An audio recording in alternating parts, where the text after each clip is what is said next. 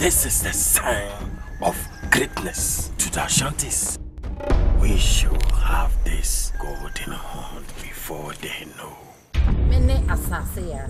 There's no time, my two princes. Go to the caves of Obuasi. There you'll find the golden horn. That is the only hope of the Ashanti kingdom.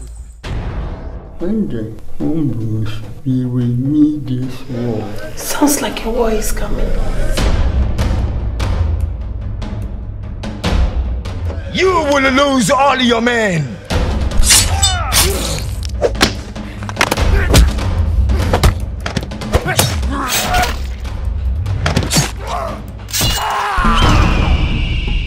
You two are the future of this land. Don't listen to me as a father, but listen to me as a king. We have the hope of our people, but we can't bypass these men. Blood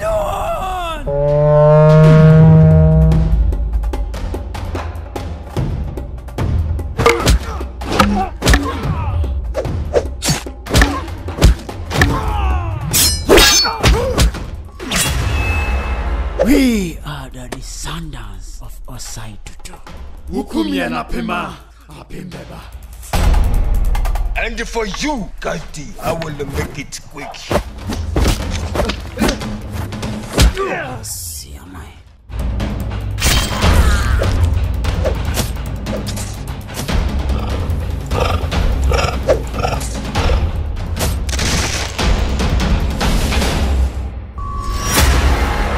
Texas.